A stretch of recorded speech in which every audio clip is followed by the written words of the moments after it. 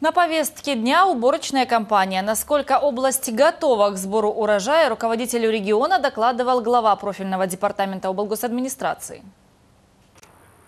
В отдельных агрохозяйствах уборочная кампания уже стартовала. По всему региону она начнется буквально на днях. Скосить и обмолотить предстоит ранние зерновые и зернобобовые культуры почти с 900 тысяч гектаров. При этом хлебоприемные фирмы и токовые хозяйства готовы вместить более 3 миллионов тонн урожая. Третьей декаде прошлого месяца уже отдельные хозяйства южных регионов вошли в уборку. На сегодняшний день у нас скошено 1000 гектар и намолочено 3200 тонн зерна. Не хочу сглазить, но э, показывается пока достойная урожайность. Э, в связи с погодными условиями э, задержка произошла с уборкой.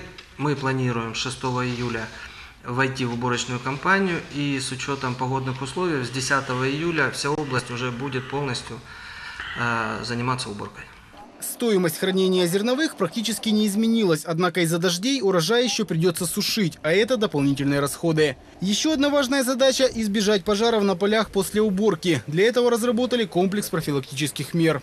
В районы направлены письма принять необходимые меры по недопущению самовольного выжигания э, природной растительности ее остатков. Это стерня, э, солома, послеуборочные остатки, что происходит э, регулярно.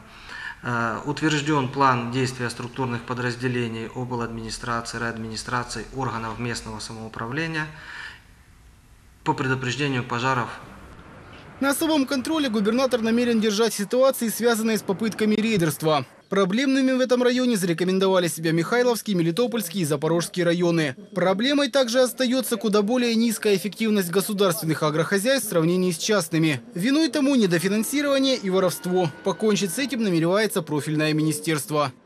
Э, Министерством аграрной политики разработана программа приватизации – государственных предприятий неэффективные формы собственности. Э, по статистике за прошлый год эти предприятия нанесли государству ущерб только э, официальный, больше полмиллиона гривен, полмиллиарда гривен.